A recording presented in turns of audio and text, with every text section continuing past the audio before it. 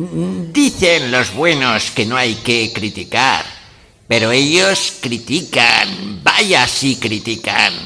Critican a los políticos. ¡Oh, es indignante! Nos roban, nos engañan.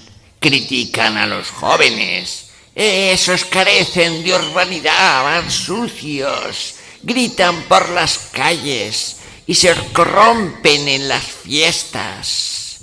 ¡Ay! Es inevitable. Vosotros hacedlo sin ser buenos. Pegaos el gustazo de ver cómo cae por tierra aquel que parecía tan honorable.